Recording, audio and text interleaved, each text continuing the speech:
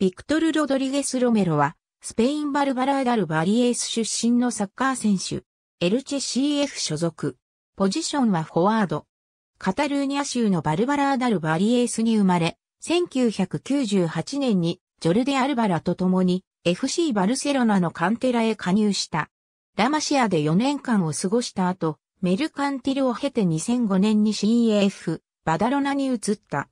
バダロナでプロデビューを果たした後、2012年に当時ラリーガに在籍していたレアルサラゴサへと加入し、同年にプリメーラデビューを飾った。2014年8月7日、エルチェ CF と3年契約を交わした。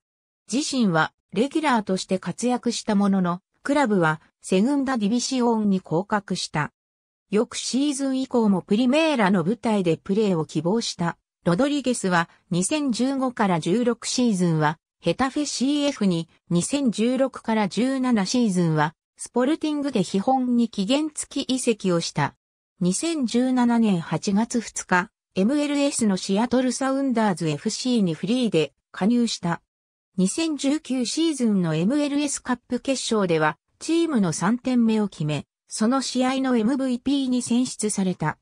2020年1月30日、母国スペインに復帰し、フルス、エルチェに加入した。ありがとうございます。